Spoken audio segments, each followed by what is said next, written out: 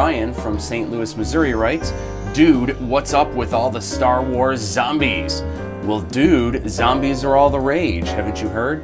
In all seriousness, the Hollywood is Dead project is something that started out requested by Lucasfilm. The real joy for me has been studying the detail of the original master artists like Drew Struzan, the Hildebrandt brothers, and Roger Kastel. Of course, when I illustrated the parody for The Empire Strikes Back, Lucasfilm felt the blood vomit was a bit much. No problem, some quick Photoshop and it's much more family friendly.